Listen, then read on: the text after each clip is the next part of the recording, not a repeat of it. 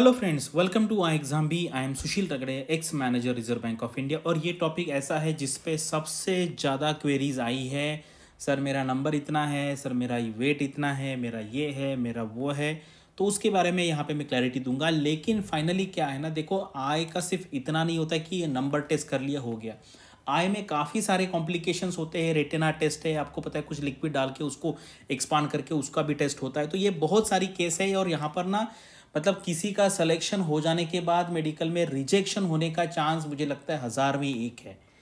तो हज़ार में एक क्या है? सिलेक्शन हो जाने के बाद। अगर आज अब से देखेंगे तो कम से कम मुझे लगता है दस लाख में एक लाख चांस होगा क्योंकि अभी आपको प्रीलिम्स देना है, फिर प्रीलिम्स क्लियर करना है, फिर मेंस देना है मेंस क्लियर करना है, फिर इंटरव्यू देना है, फिर इंटरव्यू क्लियर करना उसके बाद ये आएगा। लेकिन स्टिल सबको डर लगता ही है कि यार मैं अगर इतना मेहनत करूँ और वहाँ पे करने के बाद अगर मेरा सिलेक्शन नहीं हो पाता है तो वो बहुत मैंने वही कहा कि अब से दस लाख में एक केस होता है और सिलेक्शन हो जाने के बाद हज़ार में एक ऐसा केस हो रहा है तो आप इसकी चिंता बिल्कुल मत कीजिए। वैसे अगर देखा जाए ना तो मैं आपको बताऊँ, एक केस क्या होता है कि एवरी ईयर हंड्रेड लोग ऐसे कि जो एग्ज़ाम दे नहीं पाते हैं। तो आपने कभी सोचा ऐसे? मैं पिछले दस साल से देख रहा हूँ एवरी ईयर ऐसा होता है। तो लाइफ में अनसर्टनटी बहुत है, लेकिन इसका ज़्यादा आपको टेंशन नहीं लेना है। चलो हम, मैं आपको यहाँ पे बताता हूँ कि क्या क्या टेस्ट करने वाले हैं ये सारी ऑथेंटिक इन्फॉर्मेशन है, जो सेलेक्ट हुए स्टूडेंट वो सबको ईमेल गया है मेरे मेरे को दस पंद्रह लोगों ने भेजा है और ये एवरी ईयर यही होता है, थोड़ा एक दो टेस्ट आगे पीछे यहाँ पे हो जाते हैं। तो चलो यहाँ पे वीडियो स्टार्ट करते हैं। लेकिन स्टार्ट करने से पहले कि वो जो लेवल है, जहाँ तक आप जाएँगे, उसके पहले आपको प्रिलिम्स निकालना है। तो सबसे पहले यहाँ से स्टार्ट करो। फ़ेज़ वन का टेस्ट है, वो देना है। उसके लिए हमारा ये जीए के अलग अलग मॉड्यूल्स ये है अलग अलग फॉर्मेट्स है।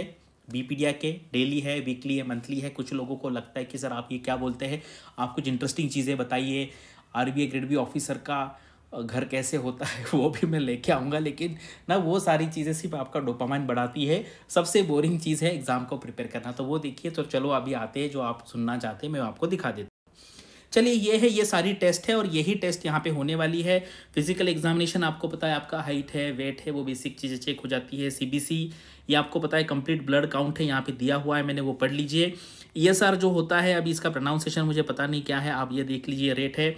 एफएसबी है पीपीबीएस है एंड एचजीपीटी है। तो यहाँ पर क्या ये फास्टिंग है, ठीक है? पोस्ट मील टेस्ट होता है यहाँ पे फास्टिंग वाला and post prandial blood sugar test. आपको पता है, यानी कि शुगर लेवल देखी जाती है जब आप फास्टिंग पे होते हैं एंड उसके बाद खाना खाना के बाद, उसके बाद फिर से बुलाते हैं, वो टेस्ट हो जाता है, ठीक है? उसके बाद एस क्रिटेनिन टाइप का टेस्ट होता है, यहाँ पे आप देख लीजिए, ये मोस्टली किडनी के लिए होता है, ठीक है?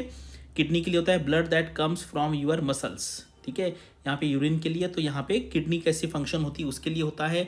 बाकी यूरिन टेस्ट है यूपीटी है गर्ल्स के लिए होगा मैरिड फीमेल्स के लिए। यूरिन प्रेगनेंसी टेस्ट होता है, मुझे पता नहीं, हमारे टाइम पे ऐसा मतलब जो लिस्ट आया था उसमें ये नहीं था। अभी रिसेंटली ऐड किया है एक्सरे है ईसीजी है आई टेस्टिंग है, ये सारा होता है। और यहाँ पर ये देखो, ये जो है, ये कैच है यहाँ पर। ये कैच है, और यहाँ पर क्या है, आपको पता है, बहुत बार ये सरकारी यहाँ पे चेक किया जाता है मेडिकल होता है, और सबको पता है, सबको अपनी जो ड्यूटी है जॉब है, वो प्यारा होता है। इसलिए उनको एक परसेंट भी डाउट आ गया तो वो बोलते हैं कि आप हाइयर टेस्ट करा लीजिए।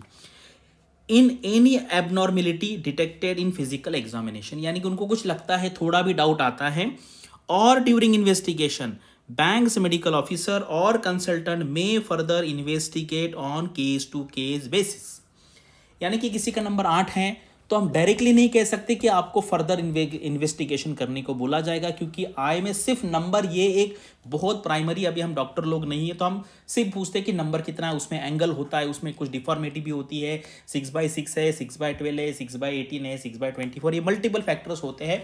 लेकिन मैंने आपको कहा, अभी दस लाख में एक केस ऐसा आएगा कि सिलेक्शन नहीं होगा इस लेवल से। मतलब फॉर्म भरने के पहले के लेवल से। अदरवाइज़ हज़ार में एक केस आएगा, उसको आपका टेंशन बिल्कुल नहीं लेना है, क्योंकि ये जितने सारे लोग वीडियो देख रहे हैं, उसमें से सिर्फ़ सौ में से दो लोग जाएँगे मीन्स के लिए। वहाँ से फिर वन इज़ टू थ्री का रेशो होगा। आगे फिर वन इज़ टू थ्री का रेशो होगा। तो यहाँ पे ये जो रेशो है, ये पॉसिबिलिटी जो है, वो बहुत रेयर पॉसिबिलिटी है, लेकिन ह्यूमन बीइंग जो है ना, अगर आपने इवोल्यूशन पढ़ाई किया होगा तो हम इनहेरेंटली हम पेसिमिस्टिक है।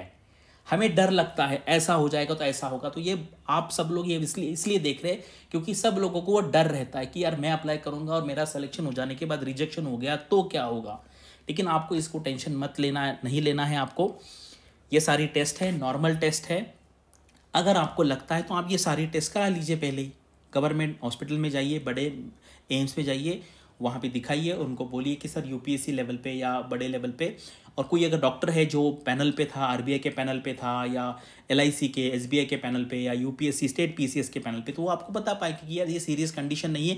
लेकिन स्टिल क्या होता है, वो अभी लास्ट ईयर क्या होता, पता है लास्ट ईयर सात आठ लोगों को डिले हुआ। लेकिन फाइनली मुझे लगता है, आठ नौ लोग थे, सबका हो गया हार्डली किसी एक का बचा होगा, उसका अभी प्रेजेंट केस मुझे नहीं पता, लेकिन मोस्टली सारे लोग ज्वाइन किए हैं। और अभी इस साल के मैक्सिमम लोगों का स्मूथली हुआ है, किसी ने मुझे रिपोर्ट नहीं किया, एक दो लोग हैं, उनको फर्दर इन्वेस्टिगेशन करने को बोला है। लेकिन ये मुझे नहीं लगता कि ऐस इस लेवल पे आएगा कि आपका रिजेक्ट ही हो जाएगा।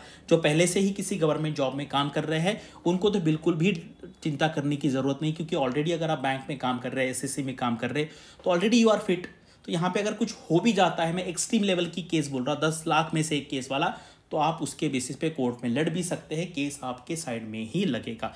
फ़िज़िकल हैंडीकैप लोग कंप्लीटली ब्लाइंड लोग फिफ्टी परसेंट ब्लाइंड लोग अगर एक हाथ नहीं है, एक पैर नहीं है तो भी वो काम कर सकते तो आपका छोटे मोटे लेवल पे टेंशन लेने की ज़रूरत नहीं है। ये वीडियो बनाने का पर्पज़ ये है कि आप विदाउट टेंशन यहाँ पर फ़ेज़ वन, फ़ेज़ टू की तैयारी आप कीजिए। अगर आपको फ़ेज़ टू की तैयारी करनी है तो आप यहाँ पे कॉल करके पूछिए किस तरीके से हम आपकी डिस्क्रिप्टिव आंसर राइटिंग की प्रैक्टिस कराते हैं, ये सारा आपको पता चलेगा। लेकिन क्या है ना, ये सारा पढ़ाई के बारे में देखना, ये इंटरेस्टिंग बिल्कुल नहीं लगे। अगर मैं कल एक वीडियो बनाऊँ, यार जिसमें कुछ क्वेश्चन एक्सप्लेन करूँ तो यार उसमें किसी इंटरेस्ट नहीं है। आई ऑफिसर का घर कैसा है? देखो इसका किचन कैसा है। देखो इसके कितने लोग उस पर काम करने लगते हैं। कैसा ऑफ़िस है? ये कैसा है? वो कैसा है? क्या क्या फैसिलिटीज़ मिलती है? आई ऑफिसर दिखते कैसा है। तो ये सारी ना, ये मतलब ह्यूमन बींग को ये जानना मतलब क्यूरियोसिटी होती ही होती, लेकिन उससे कुछ मिलेगा नहीं। ठीक है? ये है, ये मैं इतने वीडियो में दिखा चुका हूँ, लेकिन आप मुझे बताओ कितने लोगों ने ये क्वेश्चन आंसर पढ़ा है? ऐसे मैंने कम से कम चालीस क्वेश्चन बनाए, आपको सैंपल के लिए दिखाया है। कितने लोगों ने ये पढ़ा है? कितने लोगों ने प्रीवियस ईयर के क्वेश्चन सॉल्व किए? मुझे पता है हज़ार में एक करता है लोग। और फिर वही लोग होते हैं जो सेलेक्ट होते हैं और बाकी लोग सारे वीडियो देखते रहते हैं। मुझे पता है किस टाइप के वीडियो चलते हैं और फिर आपको दोनों मिक्स करना पड़ता है। पढ़ाई की वीडियो भी डालने पड़ते हैं एमपीसी का वीडियो भी डाला है, लेकिन कितने लोगों ने देखा? अगर आप चाहो तो मैं ऐसा भी वीडियो डाल सकता हूँ जिसमें पाँच लाख व्यू आएँगे।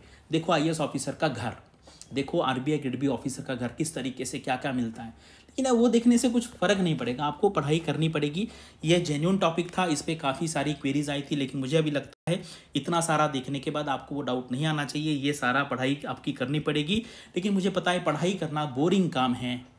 बाकी वीडियो देखना रील्स देखना, ये इंटरेस्टिंग काम है। R B I B officer का घर कैसा ये देखना इंटरेस्टिंग काम है। लेकिन अगर आपको लाइफ में आगे कुछ करना है तो पहले थोड़ा सा बोरिंग काम करना पड़ेगा थोड़ा सा पेन सहन करना पड़ेगा तो फिर आगे जाके आपकी लाइफ जो ईजी हो जाएगी। मुझे लगता है अभी इसके आगे इस टॉपिक पे कुछ डिस्कशन करने की ज़रूरत नहीं है।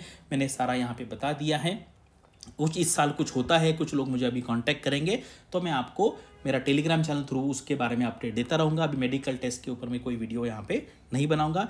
मेरा जो टेलीग्राम चैनल है और phase one previous year question की जो लिंक है, मैं वहाँ पे डिस्क्रिप्शन में दे देता हूँ। वहाँ पे आपको लगता है तो सॉल्व कीजिए।